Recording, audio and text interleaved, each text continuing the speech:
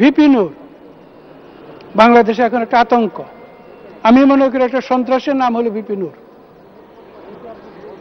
সে যে চ্যালেঞ্জ দেয়, যে বাংলাদেশের সরকারের বিরুদ্ধে সে চ্যালেঞ্জ দিয়েছে, সে রাষ্ট্রদ্রোহিতার অপরাধ অপরাধী বলে আমি মনে করি, রাষ্ট্রদ্রোহী আইনে তাকে গ্রেপ্তার করে তার বিচারের ব্যবস্থা করা হোক, আজকে সংসদে এটা আমি দাবি রাখছি।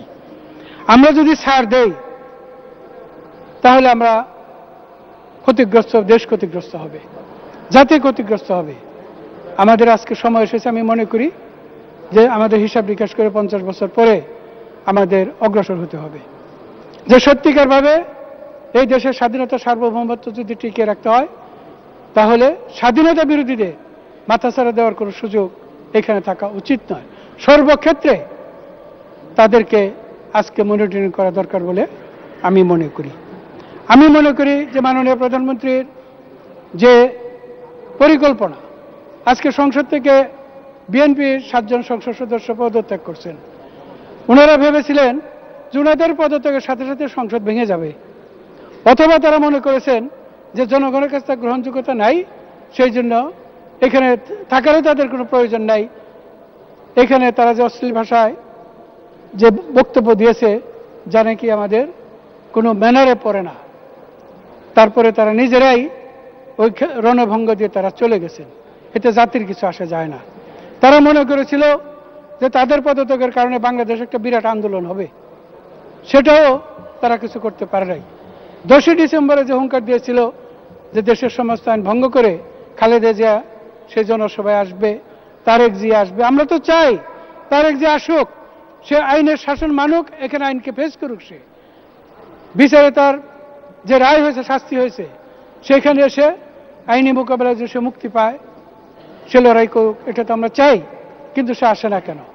সে আসে না এই কারণে সে ওখানে বসে ষড়যন্ত্র করে, দেশে যদি একটা অস্থিতিশীল পরিস্থিতি সৃষ্টি করা যায়, তাহলে কোনো এক সময় কোনো এক ফাঁকে এই দেশে যদি একটা বিকল্প পরিবর্তন আনা যায়, যেটা মাননীয় প্রধানমন্ত্রী পাইয়ে বলেছেন বলে থাকেন যে পিছনের দরজা দিয়ে অনেকে ক্ষমতা আসতে চায়। তা আমাদের সংসদ থেকে সিদ্ধান্ত হওয়া উচিত। আমাদের মাননীয় সংসদ সদস্যরা, যে আমরা যেভাবে আজকে দেশ চলছে, মাননীয় প্রধানমন্ত্রী শেখ হাসিনার নেতৃত্বে, এই দেশের স্বাধীনতা, সার্বভৌমত্ব, অগ্রগতি, উন্নতি আমরা যদি সত্যিকারে করতে চাই, আমাদেরকে আজকে পিছনের দরজা, সামনের দরজা, সমস্ত ষড়যন্ত্র বন্ধ করে দেওয়ার জন্য আজকে আমাদেরকে কঠোর সিদ্ধান্ত নিতে হবে বলে আমি মনে করি। মাননীয় স্পিকার, আমরা যদি আজকে এই স্বাধীনতা বিরোধীদের রাজনীতি করার সুযোগ যদি এখানে না থাকতো, যাদের সুযোগ করে দিয়ে গেছেন জিয়াউর রহমান। আজকে পঞ্চাশ বছর আমাদেরকে এই ষড়যন্ত্রের মধ্যে বাংলাদেশকে থাকতে হতো না।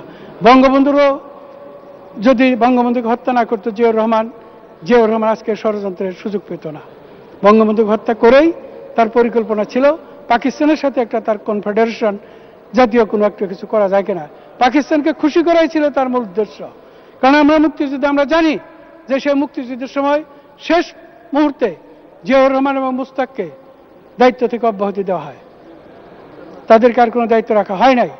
সেই জিয়াউর রহমান যেভাবে বঙ্গবন্ধুকে ষড়যন্ত্রকে হত্যা করে বাংলাদেশকে পিছিয়ে দিয়েছে, আজকে আমাদের এখানে উঠে আসতে বঙ্গবন্ধু কন্যা শেখ হাসিনাকে অনেক সংগ্রাম, অনেক চড়াই উত্তরাই দেশীয় আন্তর্জাতিক ষড়যন্ত্র আজকে মোকাবেলা করতে হচ্ছে।